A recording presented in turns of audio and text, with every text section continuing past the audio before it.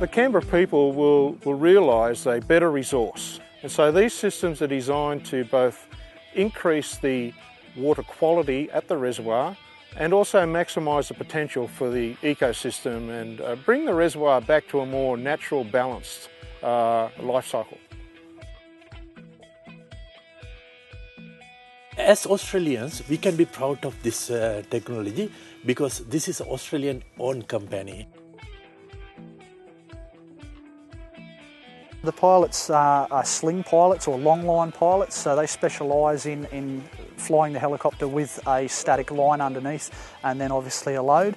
Uh, and you know, obviously it takes thousands of hours to be able to master that type of flying. Uh, the majority of, of, guys that you'll see flying with us, you know, have around the, the 5,000 hour plus.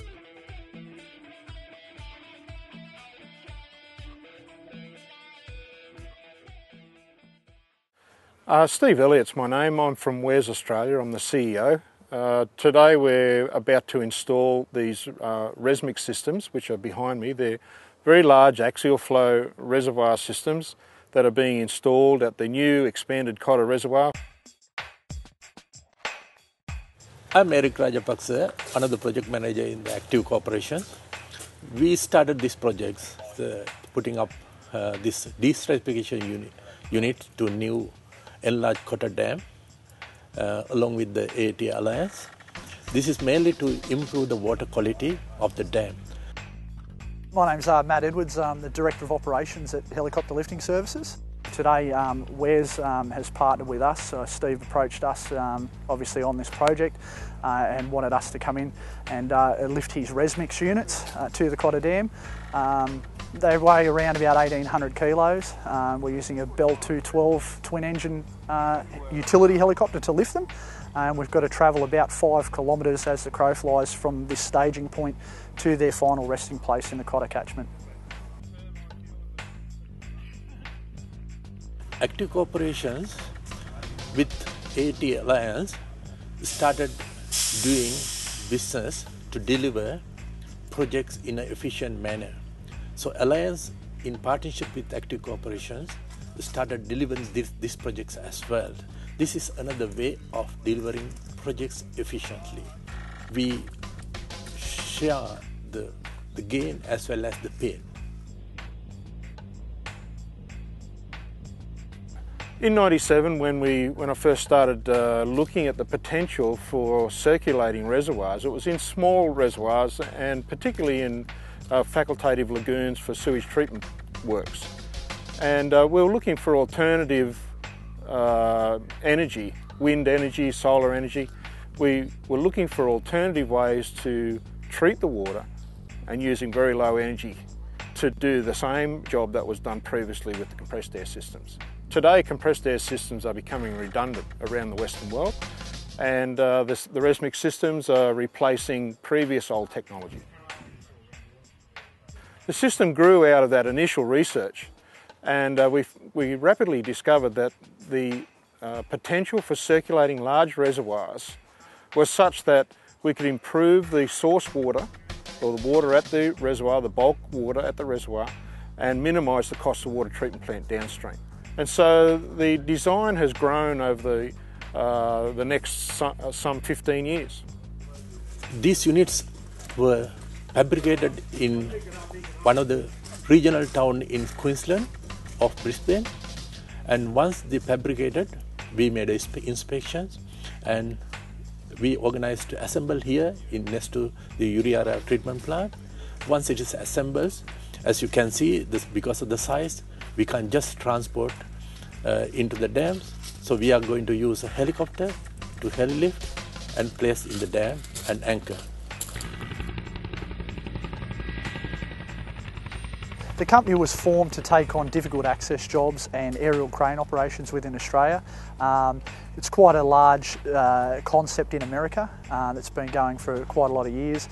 Uh, the Australian construction industry hasn't really seen an operator that uh, dedicates themselves to helicopter crane operations. Um, so HLS was really formed in Australia to take on that direct construction work with, with the construction industry. Beautiful. The majority of our work is built up um, aerial work um, and confined space work, uh, you could say, with, with the helicopter. Um, you know, obviously competing directly with the cranes, uh, we can lift twice the amount of loads they can, um, you know, in a fraction of the time. Um, just primarily from our setup phase alone, where uh, it's a lot easier to set up uh, the helicopter lift process than the crane. And then obviously you've got to take into account as well the large amounts of manpower that come with a crane um, of such size to be able to reach onto high-rise buildings, etc. So uh, we become quite competitive there with, with that.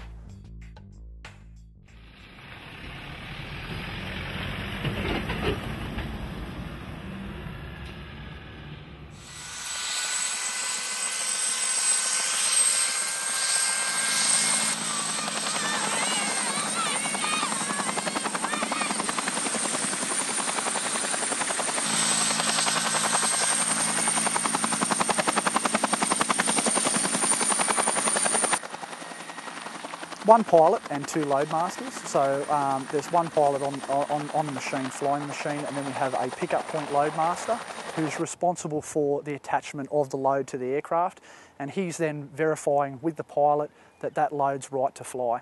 So as the pilot positions the aircraft over the load, he'll confirm that everything's connected, uh, the load's you know basically ship shape and ready to go before he departs the staging area with it. Uh, and then once he approaches the set down point, we have another loadmaster there who, what we call, cons the pilot in. So he's basically acting like a, a dogman per se in a craning operation, and he uh, cons that load into the set down point. Uh, and obviously, the pilot doesn't do anything without the confirmation from that guy on the ground first um, that he's ready to receive the load. Thank you.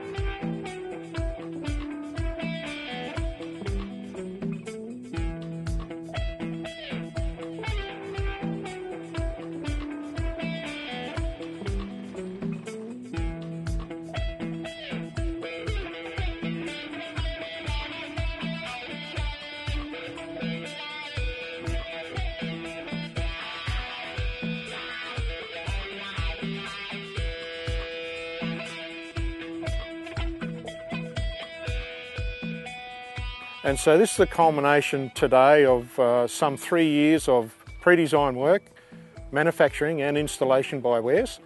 And uh, so it's, a, it's an exciting day and it'll be a, a, good day for Canberra citizens. This is, this is a very, very good addition and it, it has a guarantee, it is giving us a guarantee that we have enough water under any circumstances to distribute, treat and distribute to the Canberra people.